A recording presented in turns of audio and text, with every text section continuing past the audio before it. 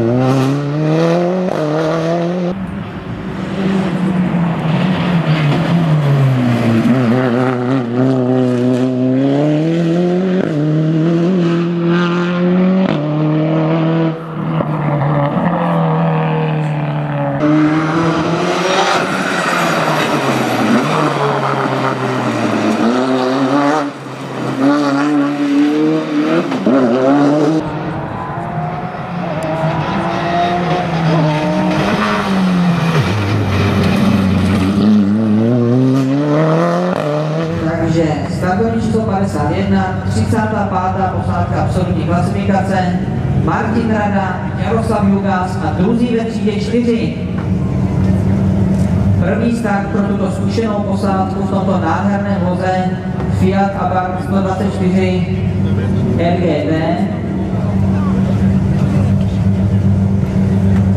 Takže fotečka. No a já teda ještě samozřejmě dám prostor fotografům a potom se budu zajímat o to, jaké byly první kilometry s tímto vozem, tak dobře, a počkám si.